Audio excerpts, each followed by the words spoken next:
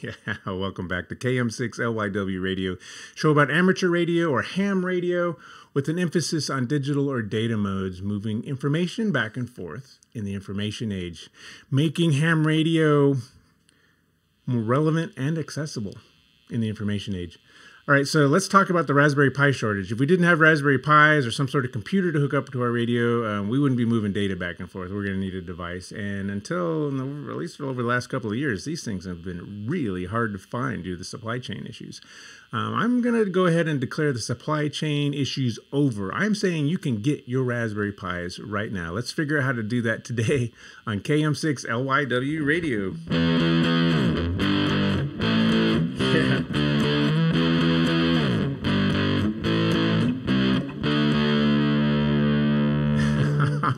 Welcome back to the show. Yeah, the cheap bumper music. We're still getting away with it. We're still getting away with it. Ah, probably a repeat. It's turning into the, to a name that tune kind of thing. If you guys notice that, let me see if I can make these uh, rearrange my desktop here a little bit. So I've got some Raspberry Pis here. Uh, some of these I've acquired recently. Some of these it was a while back. Let me make this is really complicated. I'm, I'm starting to get dizzy here watching myself move around here. So here are a bunch of Raspberry Pis. All right, let's move this here so you can see me face here in the corner. All right, so Raspberry Pis, we've got a bunch of them. Um, we've got one hooked up to an ICOM 705 here, as a matter of fact. So it's doing a, a, data workload. In fact, it's an APRS TNC right now, and you can actually see it on my phone over here. Um, I don't know. I just I like filling all the spaces on my screen here. You ever notice, like in movies, you know, you, you ever see computer monitors in the movies? They always have to be doing something. So I kind of feel the, the same way when making these videos. All right, so let's talk about Raspberry Pis and where to get them. So I've said it before and I will say it again. If you're not using rpilocator.com to find your Raspberry Pis, you're not finding Raspberry Pis. And until recently, this thing was just white. I mean, you could set an alarm and you could uh, hit click auto refresh you know, and, and, every now and then you'd hear that sound, and you'd see a Raspberry Pi model, one of these green lines show up, and it'd, it'd be there for a matter of 30 seconds. Um, but that's that's kind of history. Now you see, I'm sitting here, and I see multiple models of Raspberry Pi. I see them available in my region, which is the United States. In fact, if you switch over to all regions, um, you'll notice that pretty much all models, including the coveted Pi 02 wireless, is available in some country somewhere. Um, you can see they're just available everywhere. Now, I did read some interviews with the Raspberry Pi Foundation, and initially they were thinking they would have unlimited supply, as as in supply meeting demand uh, by summer. Yeah, we're here in summer. We're not quite there yet, and so they are saying that in fall we'll see all models. Some Raspberry Pis are a little harder to make, like Raspberry Pi 02 Wireless, for example, has a unique package where it has memory on top of a CPU. That's a little harder for the tooling, um, but it sounds like they do have contracts in place, and they are now shipping to hobbyists, whereas before they're shipping to their commercial customers because, well, hey, that's how a lot of people made a living. So rpilocator.com, we are seeing stuff in stock. So in this case, I see the Zero Wireless. Uh, I see a Model 4, Raspberry Pi Model 4 has been available all morning here. I've, I've been looking at this at Adafruit. Um, that's the 8 gig model. Not only that model, but the 4 gig model is available at Adafruit. And then, of course, we're seeing the Raspberry Pi Model 3, uh, Raspberry Pi 3 Model A, which is a lot like the Raspberry Pi 02 Wireless, which is the hard one to find. Uh, it's just kind of a different form factor. And it's only $25. So uh, we got to have Raspberry Pis to fuel our, uh, our data habits here, to, to run our radios. Um, so let's take a look at each one of these what what kind of Pi can I get you into today? It used to be you just bought whatever Pi you can get, but, but now I think we're at the point where we can actually start talking about the different models, uh, which Pi is right for you. Um, so I have a small smattering of Pis here uh, on my desktop. Um, I don't have them all, I don't think. I'm missing them Raspberry Pi 3. But you know, the one that really started it all was the Raspberry Pi Model 2. Let me, I'm gonna, I'm gonna hold it up to this camera. Maybe I can do it this way. Uh, yeah, this is this is gonna be this is gonna be confusing. It's brain. That's the Raspberry Pi Model 2. This is the one that started it all. Uh, what over 11 years ago? What in 2012, I think it was. Uh, don't ask about the Raspberry Pi Model 1. I don't know. I think that's a long story. I think they did come out with one eventually. But this is basically a single core CPU with 512 megs of RAM and like you know a USB and network port. That's it. It didn't even have Wi-Fi.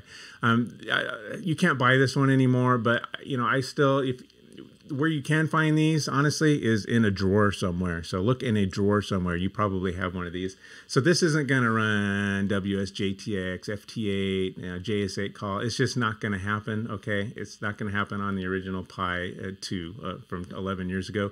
What this can do, and I've done it, and it actually does it really well, is run any of the packet workloads. So if you're doing AX.25, APRS, in fact, what you're seeing here, where we have APRS and my phone connected to a, a, a TNC doing APRS operations, this original Pi will actually do that, and it'll do it just fine. Uh, so that's the original Raspberry Pi 2 from 12 years ago. Um, more recently, they you know instead of building that one, they decided to make it into a new form factor, and they came up with the Raspberry Pi Zero wireless. This is fifteen dollars. You can get it right now. It was on that list I just showed you guys. Okay, um, again, this is a lot like the Raspberry Pi uh, two that I just showed you, it is not going to run FT8, a JS8 call, FLDigi. I've tried; it's kind of miserable um, if you do some RAM swapping. And I don't know, JS8 just aborts on the CPU. Some of the other things don't like the RAM. It, it's just unusably slow. So for those modes, but if you want to run APRS or Packet AX.25 bulletin board, this is perfect. In fact, you, if you look at the CPU load on this original Raspberry Pi Zero, it uh, it's like 18% if you're running Direwolf. So Direwolf is kind of the, the modem and TNC at the center of all those modes, and it's it's written in C. It's incredibly efficient, running directly on the CPU. Um, and it's again only running 18% of the single core that you get with the original Raspberry Pi uh, Zero, and that's this that's this guy here. So um, very impressed with this guy. Get it for fifteen dollars. You know, I even I put these in the truck. I put them in the car. Um, these are simple, uh, real easy. You know, if you if you screw up the soldering, you know, it only costs fifteen dollars. And like I just showed you, it's it's available. It has infinite supply now. It has not been out of supply for weeks now on rpilocator.com. So moving up from there um, is the Raspberry Pi Zero Two. This actually has wireless. Um, this one is pretty cool. I think this is the sweet spot. This one's increasingly hard well, not increasingly. It's it's more available outside of the United States right now. They are doing runs. Um, what makes this one more interesting is the fact that it has a dual package here. So the, the CPU and memory is basically layered on top of each other. That's kind of hard to tool for. Um, you can't just go ahead and start printing those. It's a special CPU, actually gold plated. You'll notice it has the letters AU on it for the for the tags on it. So basically, this is a Raspberry Pi 3, which we haven't mentioned yet um, in a new form factor. Uh, and it has a quad core CPU, basically the same CPU. Um, it doesn't have all the USB ports and things that we, uh, like the Pi 3 might have, but it just has the one here, one for power, HDMI. So I really like this one. It's from the form factor perspective. From a power budget perspective, this is the sweet spot. This is the Raspberry Pi Zero 2 wireless, uh, as opposed to the uh, as opposed to the not two wireless.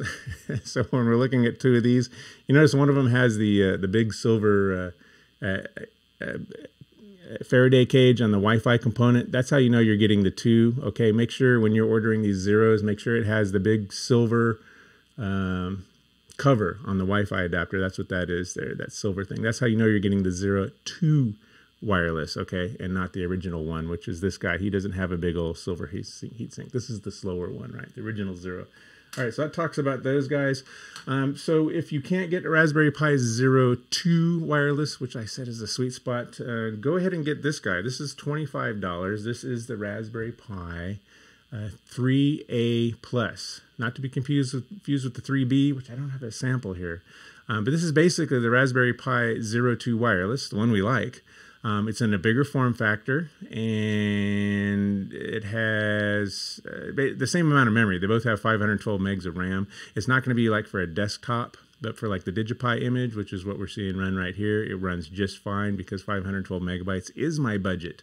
Uh, for these things. So the last few Pis we saw here only have 512 megs of memory. They're not going to make a big old desktop with web browsers and word processors and things like that, but they are going to make ham radio apps. Uh, you're running them one at a time, run flawlessly.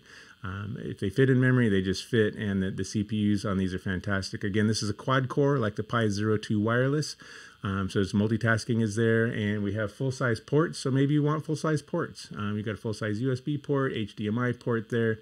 Though we don't use HDMI with DigiPi, we don't hook up monitors. That's that's kind of legacy now. We use when we run Raspberry Pis, of course, you know we do everything with our uh, our cell phone apps or web browsers, right? You shouldn't need a monitor and a keyboard to hook up to your Raspberry Pi. You should just be able to bolt it onto your side of your radio like we like we've got right here.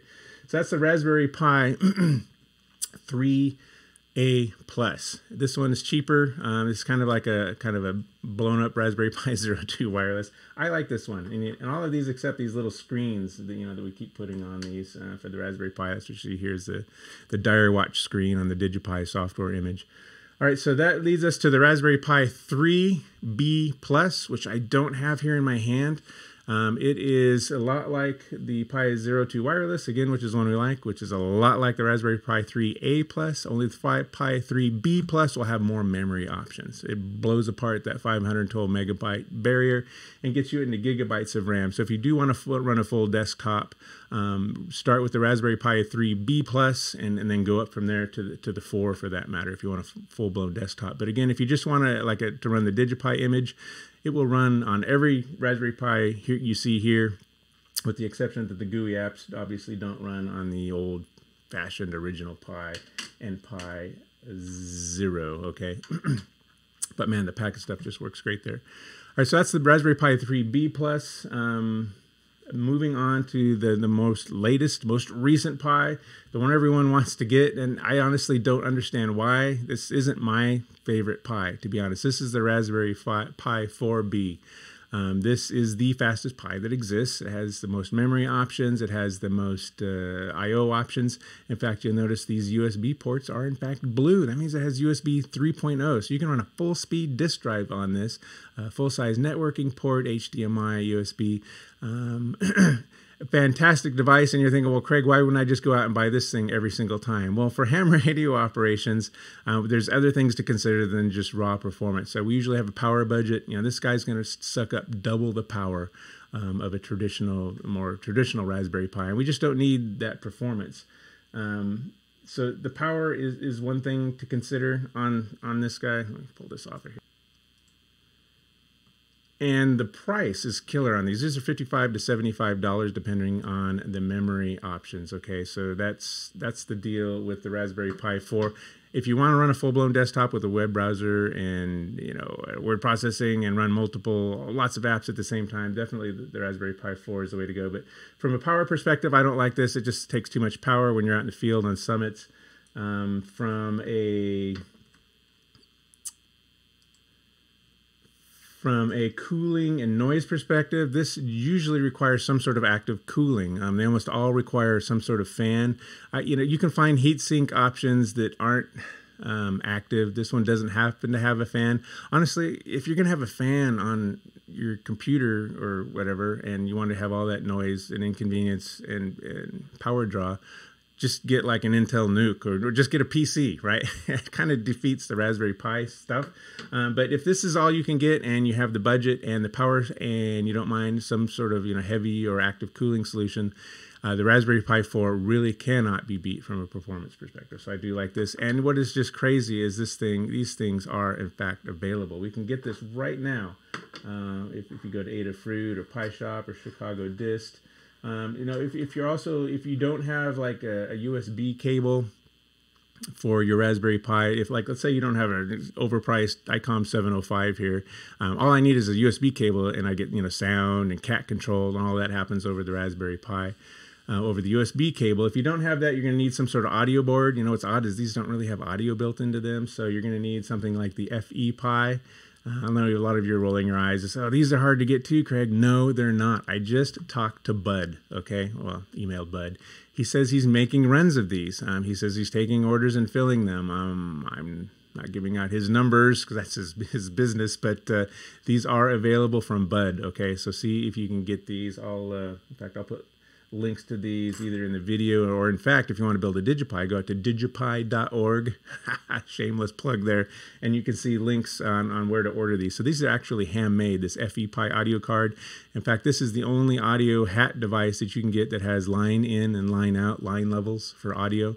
Um, this is it. This is the only one you can get. For a while there you could get the uh, Audio Injector Z audio board. Uh, you can get this on Amazon. I just haven't seen this in ages. Uh, but to be honest, I would rather go handmade, and I and I think this is honestly a better board from a hardware perspective as well. I don't know why the other the other board has like a, a 3 dB cut in, in audio, which isn't insurmountable. It's just it's just kind of weird. All right, so that is the Raspberry Pi uh, history, I guess. It's almost like a museum lesson or something. Um, all of these will work great. Uh, just keep in mind if you get the original Pi Zero or the ancient Raspberry Pi 2, um, it's not going to run the GUI apps, FT8, JS8 call. Um, it's just not going to run those. Um, so when you when you load your DigiPi image and you see you know you, you see these these bottom ones here, this where we can run these apps in a web browser. You're not going to run those on the original old Pi Zero or Pi Two. Okay, any other Pi these will run just fine. Uh, it doesn't these don't have the memory requirements either. Um, but if you want to run you know just at APRS, TNC, iGate, Node services, WinLink, you know PAT. Um, you can do all of that easily on the on every single Pi, the old ones and the new ones. Okay, so um, get your Raspberry Pis. Let me know where you guys are getting them. Um, in fact, this I've been waiting for these an alert an alert to come up here. You can put this on auto refresh and an alert when new stuff is in stock. But man, these things are staying in stock. Used to be 30 seconds. Now it's more like three to 10 hours I'm seeing this stuff available. So get your Raspberry Pis. And then uh, what you want to do is get get your Raspberry Pi software going. Um, get a DigiPi image. it, it, honestly, it makes this channel go. It fuels the channel. If you get a DigiPi image, the Digi what is a DigiPi image, Craig? Um, well, patrons of the channel get access to the DigiPi image, which is the software you're seeing running over here on this uh, ICOM 705, uh, this Raspberry Pi. In fact, it's doing APRS TNC mode. In fact, you might have seen it over here running in the in this phone. You know, we can do all kinds of TNC operations with this. I'm getting out of control here. Um, you know, you can do APRS operations. You can see who's around you. This is just the APRS aspect. This will do FT8, FL Digi, JS8 call. It'll do WinLink. It'll do all the stuff that we, uh, well, I just showed you in the service menu, and it's all accessible via your web browser or your phone. You know, so I don't have a monitor or keyboard hooked up to it. You just don't need one, okay? We can do APRS messaging here. I'm, I'm going to get out of control. You know, maybe I want to send a message to uh, WX bot here. I can just say, uh, I don't know. I don't know what, what do you type here. I just type like weather, and transmits a packet out of the radio. Gets something back. Got the acknowledgement. You can see the radio operating over here. it's transmitting and receiving.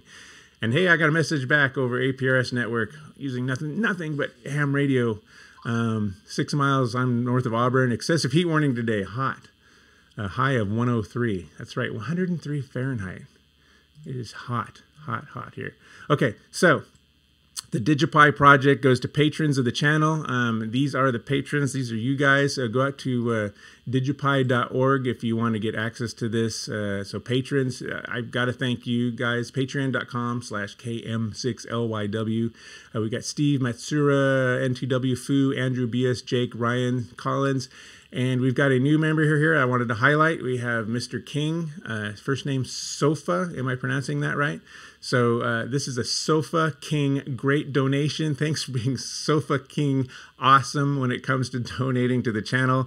And if you guys keep sending me stupid Patreon names like this, I, I don't have the self control to not take advantage of someone who comes up with a Patreon name of Sofa King. So, Sofa King, thank you. The patron spotlight of today. Thank you, sir. Thank you for the contributions to the channel. Um, let me know how the DigiPi image builds uh, go and send me pictures of your DigiPis when you build them too, would you guys? Um, Sofa King.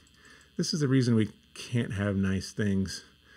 Okay, you guys know I'm not mature enough to, to, have any self control to not read uh, funny names. Okay, William, Jeff, Rufus, Alfred, he- Heath, Adam, M. Butts. Thank you, M. Butts. I'm not going to go there. Uh, Mike, uh, Herm. Thank you, Herm. Cosette, Dusty, George. I'm going through these really fast because there are so many of you. Look, I'm not even halfway through. I'm not even looking and I'm still scrolling. Thank you, guys. Chris, Ron, Peter. Uh, VK, you know, we're going international on this too. Hey, we've got a, an Australian call sign there. Hey, worldwide DigiPi user community here. We've even got guy with guys with Unicode names. I'm not. I can't read Unicode. Um, Dan, Herbert, Jason. Um, I didn't see Patty, but I noticed Patty. You put in a comment that you giggle every time I say your name. So Patty, thank you for being a Patreon. I appreciate it. All the way down to Mark Thompson. All right, let me know if you're getting your DigiPis, guys, and where, how, when, what kind of Pis, um, how you're building them, how you're using them, how you're using them with amateur radio. Hey, my name is Craig. I'm in cool California. Uh, this is KM6LYW Radio, and I am.